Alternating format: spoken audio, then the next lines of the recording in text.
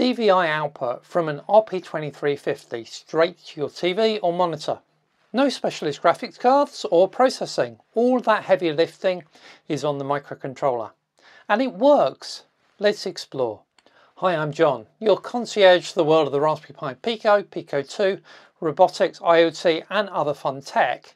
If that sounds like your kind of adventure, then please hit subscribe and join the community.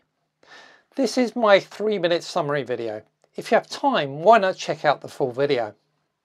The Waveshare RP2350 Pi Zero is quite an odd shaped RP23 board in my view. It mimics the Raspberry Pi Pi Zeros with the Pi Zeros pinout. The board also has a battery input too, two USB-C connectors and an SD card reader, plus SWD, which is great to see so we can connect up a debug probe. The part I am going to focus on in this video though is the DVI output, the ability to connect this board to a monitor via a micro HDMI adapter and drive video.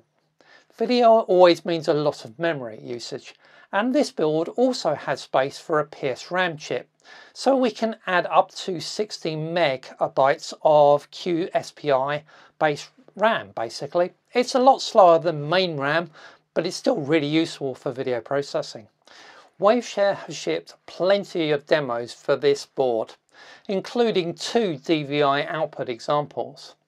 These make use of the DVI, GUI and Sprite libraries they've shipped. Using these libraries, you can easily build your own video output projects too. I built this demo in just a few hours. Thank you for watching. If you enjoyed it, then please do give me a thumbs up and make sure you watch the full tutorial too, which might be a, a bit more in depth.